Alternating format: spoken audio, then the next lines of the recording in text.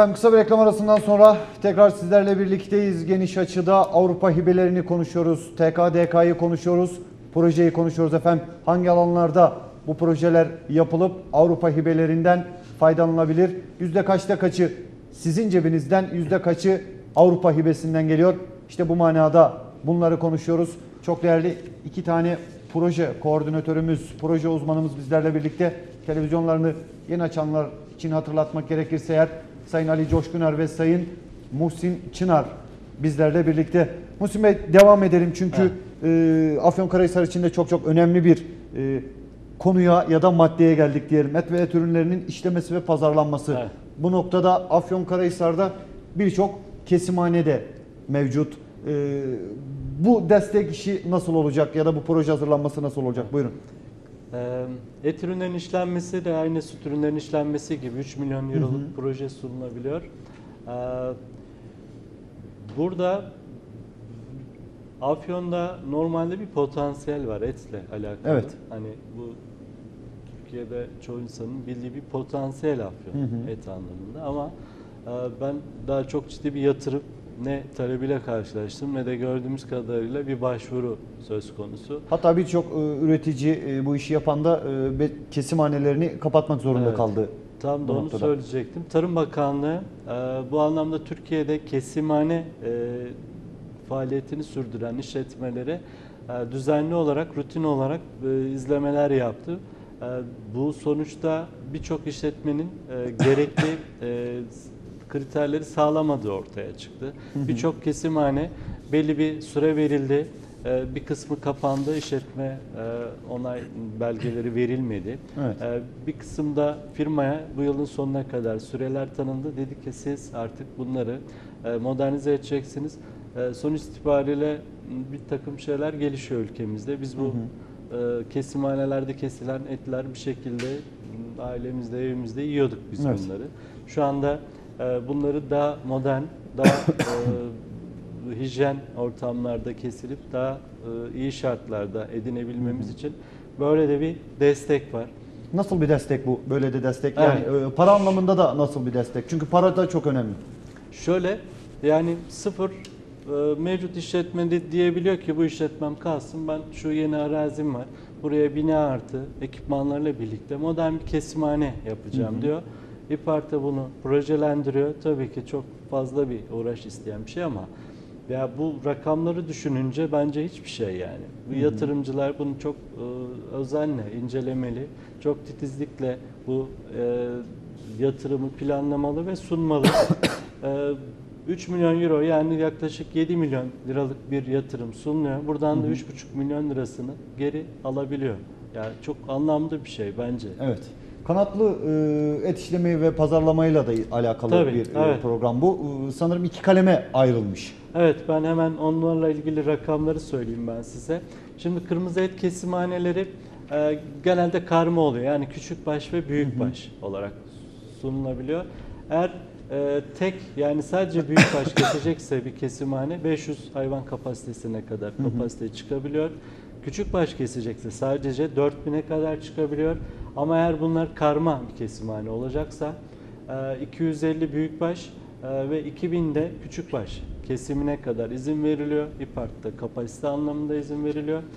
Burada e, bu 9. 8. çağrıdan sonra e, et ürünlerinin işlenmesi dediğimiz yani sucuk, salam, ileri işleme deniliyor bu şey prosesi olarak. E, birleştirildi bunlar. Daha önceden ayrı kalemlerdi. Şu da e, bir araya alındı. Sadece burada ileri işlemede 5 ton kapasite sınırı var. Bu önemli. Yatırımcıların buna dikkat etmesi gerekiyor. Bu şekilde birlikte totalde bir e, yatırım sunulabiliyor. Yani e, kesimhane arkasında işleme ile ilgili de ekipmanları alabiliyorlar yatırımcılar. Evet. Kanatlı ile ilgili şeye gelince e, burada kanatlılar günlük değil saat olarak kapasitelendirilmiş burada. E, saatte en az 1000 tavuk, en fazla da 5000 tavuk kesim kapasitesine e, ya da hindi kesimi söz konusuysa 100 hindi en az en fazla da 1000 hindi kesim kapasitesine sahip olmalı deniyor burada. E, destek miktarlarını söylemiştik. Evet. En az 30 bin avro En fazla da 3 milyon avro olabiliyor. Ee, ve %50 yatırımcı kendi cebinden %50 de e, e, İPART kamu katkısı olarak destekten faydalanabiliyorlar. Evet. Yine devam edelim. Ali Bey ile devam edelim isterseniz. Ee, Ali Bey meyve ve sebzeleri muhakkak konuşacağız. Çünkü Sultan Dağ bölgemizde e, çok büyük bir kapasite var. Çok Evet. büyük bir alan var. Ayrıca Afyonkarahisar'ı ayrı konuşacağız. Ancak e, su ve su ürünlerinin işlenmesi termal noktasında e, seracılıkta Afyonkarahisar'da çok çok önemli. Hatta e, Sayın Orman ve Su İşleri Bakanı Veseleroğlu'nun söylediği gibi e, seracılık için Afyonkarahisar Antalya'dan bile elverişli. Evet, Ee, jeotermal kaynaklı olduğu Jeotermal kaynaklı. Ee, bu su ürünleri de aynı kategoriye mi giriyor yoksa e, sadece balıktan mı bahsediyor? E, Şimdi aslında Balıktan e, balıktan burada e, kültür balıkçılığı başlığı altında. Seracılıksa süs bitkileri genellikle İPART'ta süs bitkileri ana konu başlığı altında veriliyor. İşte ne bileyim aklınıza gelebilecek bitkilerin işte ladindir ya da bunun benzeri bitkilerin yetiştirilmesi olarak bir destekleri var. Ee, diğer konuya gelecek olursak meyve ve sebzeler Afyon için yeni. Yani Afyon 2010'dan beri işte e, besi olsun, süt olsun ya da diğer başka aktivitelerde proje sunabiliyorlar. Ama meyve ve sebze ilk defa bu dönem Afyon'a verildi. O zaman e, büyük bir nimet. Evet, bunu kullanmak, değerlendirmek lazım. Mesela Afyon'umuzun Sultandağ ilçesi de bulunan e, işte ne bileyim kirazlar, Napolyon kirazları özellikle bunların paketlenmesi, bunlara yönelik yatırımlar e, ilk defa da verildiği için çok daha kolaydır aslında projele projelendirilmesi. Asıl buradaki amaç e, en fazla verilen tutar meyve ve sebzelerde 1 milyon 250 bin euroya kadar bir desteklemesi var. Doğru söylüyorum değil mi Muhsin Bey? Doğru evet. 1 1 milyon 250 bin euroya kadar bir destek var. Bununla ilgilenen yatırımcılar ya da var olan tesislerini modernizasyon yapabilirler. Biliyorsunuz ki bunun işleme, işte ne bileyim paketleme, tasnifleme bunlarla ilgili makinelerin fiyatların çok çok yüksek miktarda. Bunları Özellikle soğuk hava, evet, evet. evet soğuk hava tesisleri 10 bin metrekübü geçmeyecek şekilde bildiğim kadarıyla en son Evet. projede öyleydi. Bunlar tam bir yatırım alanları. Bu noktada değerli izleyiciler meyvecilik sektörüyle ilgilenen e, Türkiye'nin birçok alanı var muhakkak ama özellikle e, Sultan Belediye Başkanı Sayın Osman Acar'ın e, paketleme servisiyle ilgili, paketleme e, tesisiyle ilgili bir sıkıntısı vardı e, Sultan Dağı için. Sanırım Sultan Dağlılar burayı çok çok iyi dinlemeli ki e, birçok hibe Sultan Dağı için bir nimet gibi geliyor. Yanlış mı söylüyorum Ali Bey? Kesinlikle doğru söylüyorsunuz. Ee, bu Buyurun. konuda hani en son meyve ve sebze konusunda açıkçası ben daha da fazla istiyorum Afyon yatırımların akmasını sadece meyve ve sebze değil. Mesela kültür balıkçılığı. Belki konudan konuya geçiyorum ama biraz da herhalde e, Afyon'umuzda bu İPART'ın kırsal kalkımının herhalde tanıtımında mı artık ya da bizlerde de belki hatalar olabilir. Hani yatırımcıların kesinlikle Evet. e, bizlere bu konuda güvenmeleri, yani bu işi uzmanı olduğumuzu, yaptığımız işlerden de anlay- anlayacaklardır mutlaka. Evet. bizlere direkt olarak bağlantıya geçmelerini, sadece e, kulaktan du- du- e, kulaktan duyma şeylerle bu işlere girişmemeleri gerektiğini yani ufak bir öneri olarak söylemek zorundayım burada. Evet. O zaman e, yine devam edelim isterseniz. E, gelen sorularda da e, muhakkak uzman konuklarımıza aktaracağım ama öncelikli olarak konu başlıklarımızı bir e, bitirelim Evet, istiyorum. bitirelim mutlaka. çünkü bunlar çok önemli. E, çiftlik faaliyetlerinin çeşitlendirilmesi ve geliştirilmesi var e, Evet. Muhsin Bey. Bu da çok önemli. Hani dedik ya Afyonkarahisar ve bu bölge tarım ve hayvancılığın, Evet. e, çiftliğin ana diyarı, ana mekanı. E, bununla ilgili neler söyleyebilirsiniz kırsal anlam- anlamda? Şöyle, e, bu anlamda bir şey ihmal edilmiş bence. Programın genel tasarımında bence belki de bir şey var. E, kırsalla ilgili projelerde diğer büyük projelerdeki yapılacak işlerin aynısı var aslında. Yani e, proje dosyası hem bir kesimhane ile e, atıyorum bir e, arıcılık bal üretimi yapacak bir yatırımcıyla aynı eşdeğer hiç farkı yok. Ha, bir takım rakamların küçük yazılmış olması veya satın almaların e, daha az olmasıyla ilgili belki bir kırtasiye az ama e, dosya sunumu aynı. Bu anlamda e, kırsalda çift faaliyetlerin çeşitlendirilmesi ve geliştirilmesi başlığında e, 5000 avrodan az, e, 250 bin, ara- 250 bin avrodan yüksek olamaz diye böyle bir e, destek sunulmuş ama çok fazla maalesef çok fazla başvuru olmayacak, olamayacak bunlarda ve para hani gidecek diyoruz ya. Evet. e, Yasemin Bey, bu başlıktan paralar gidecek yani. Evet.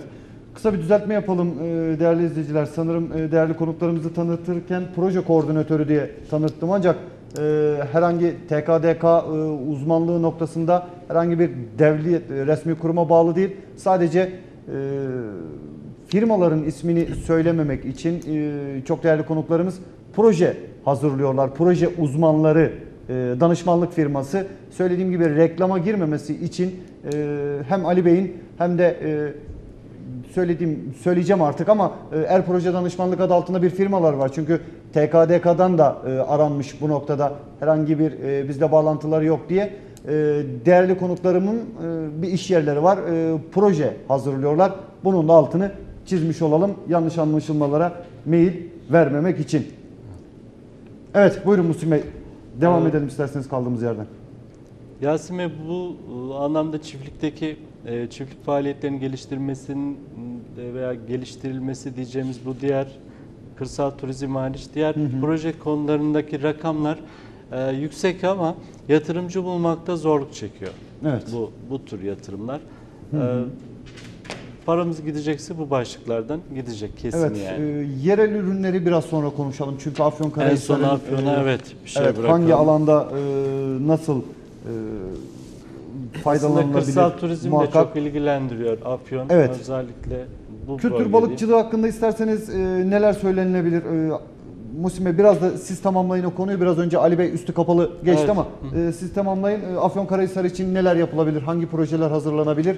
Bunu Hemen da destek oranını söyleyelim. söyleyelim. 15 bin avrodan düşük olamıyor bu kültür balıkçılığı. 200 bin avrodan da yüksek olamıyor. Yine %50 kamu katkısı burada. Ee, bu tür çiftliklerde e, birkaç balık türü e, söylenmiş desteklene- desteklenecek türler şeklinde. Alabalık, sazan, yayın, kerevit, kurbağa, su yosunu gibi e, destek kapsamındaki balıkların kültür balıkçılığı yapılmasında yani e, bu anlamda e, mevcut yatırımların veya yeni yatırımların desteklenmesi anlamında destekleniyor. Evet. Ee, 10 dakikalık bir süremiz var. Ee, Ali Bey yine sizle devam edelim. Muhsin Bey'le de muhakkak e, ortaklaşa devam edeceğiz. Ancak e, yerel ürünler denince Afyonkarahisar'ı konuşmak gerekirse eğer. Evet. Afyonkarahisar e, potansiyel olarak e, hem meyve sebzecilik hem tarım ve hayvancılık.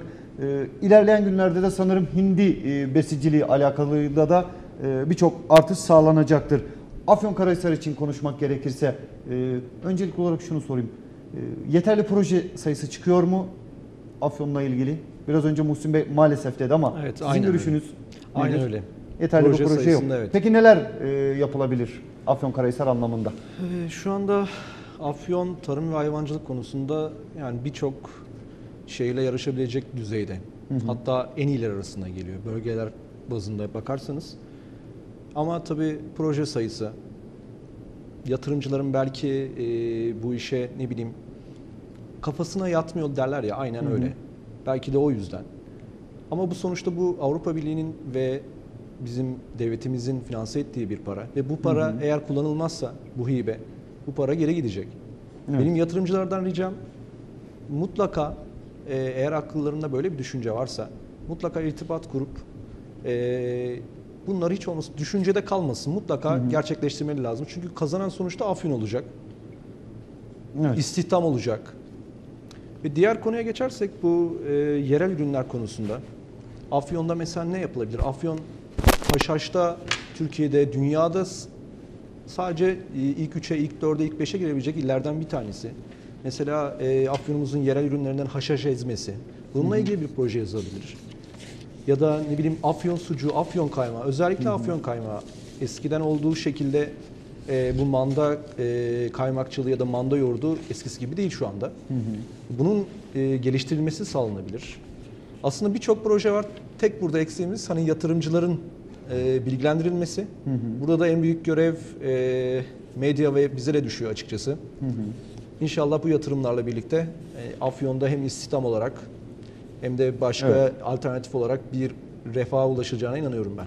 Musim Bey'le e, devam edelim. Musim Bey e, aynı zamanda termal turizm e, memleketi Afyonkarahisar olsun, Kütahya, Uşak e, bölge olarak söylemek gerekirse. Onunla ilgili de projeler yazılabiliyor, projeler hazırlanabiliyor sanırım. Elbette e, program ilk çıktığında 15 yatak kapasiteli yani 15 oda içerisinde tek veya çift yataklı bir kapasite söz konusuydu. Bunun beraberinde restoran işte e, çevre düzenlemeleriyle birlikte toplamda bir tesis tasarımı düşünülebiliyordu. Şu anda 25 e, yatağa çıktı. Yani oldukça da iyi bir tesis olarak düşünürüz biz bunu. Evet. 25 odalı bir tesis düşünün ve işte restoranını ve çevre düzenlemeleriyle birlikte. Çünkü bu tasarımda şey yok yani sınır yok. Ee, yatırımcı bölgeyle ilgili her türlü e, kafasındaki turizm çeşitli kafasındakini bu, bu projede e, destek bulma şansı bulacak. Ya bence oldukça serbest stil bu kırsal kalkınma e, şey kırsal ekonomik faaliyetlerin çeşitlendirilmesi başlığı altındaki en güzel destek kırsal turizm. Bence çok kullanılacak, çok elverişli bir yatırım türü. Hemen rakamıyla ilgili şey söyleyeyim.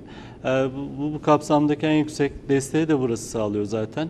400 bin euroya kadar proje sunulabiliyor. Tekrar bunun diğer başlıklarda çoğunda olduğu gibi %50'sini kamu katkısı olarak tekrar alıyor yatırımcı. Birçok Sultan Dağlı'dan, Sultan Dağı ilçesinde bulunan vatandaşlarımızdan gelen e, Twitter hem soru hem de maillerle alakalı olarak e, tekrar aydınlatır mısınız e, bu konuyla alakalı bizi demişler. Çünkü biraz önce söylemiştim ya Muhsin Bey, Sultan Dağı Belediye Başkanı Sayın Osman Acar'ın da en büyük sıkıntılarından bir tanesiydi. Kirazımız var, her şeyimiz mevcut.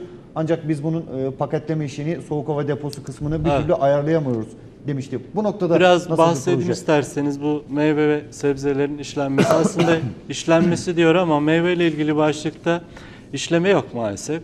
Ee, şöyle e, hasat sonrası çıkan e, arz fazlası o dönemdeki ürünlerin e, fiyatlarının regülasyonu açısından pazarda s- paketlenmesine e, bunların depolanmasına e, program destek sağlıyor. Nasıl yani? İşte o an pazardaki arz fazlalığını depoluyoruz ve belli dönemlerde tekrar piyasaya arz ediyoruz. Bunun için zaten bu çok önemli bir başlıktır. Kırsalda ürünlerin e, heba olmaması adına.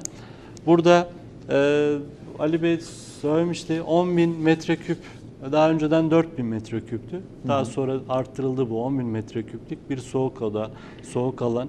Oldukça yeterli e, bir alan. Bunların e, depoya girmeden önceki işlemleri de o kapsamda değerleniyor. Uygun harcama listesinde bulunan ekipmanlardan işte tasnif, işte paketleme her neyse bunlarla ilgili ne ihtiyaçları varsa e, projeye sunabiliyorlar. Soğuk odayla birlikte destek kapsamına giriyor. Peki e, birlikler bundan faydalanabiliyor mu? Çünkü Sultan Dağı'nda e, Evet. Kiraz Üreticileri Birliği e, var, e, kuruldu, yeni kuruldu.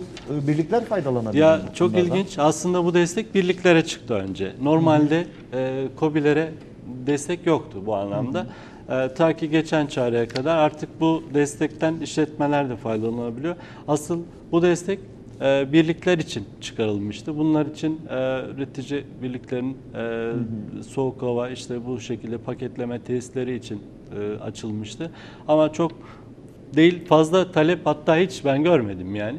Evet. Maalesef herhangi bir Bu başvuru konuda olmadı. Afyon'da da e, herhangi bir çalışma sanırım yapılmadı. e, Ben ben Evet. duymadım. Bildiğim kadar kadarıyla yok yani. Bizde Evet, bence bu manada da Evet. e, Sultan Dağlı hemşerilerimizin çok çok dikkat etmesi, özellikle kiraz üreticileri anlamında e, bence onlara büyük kolaylık, büyük destek sağlayacak bir proje e, Ve oradaki destek miktarı da 1 milyon 250 bin avro.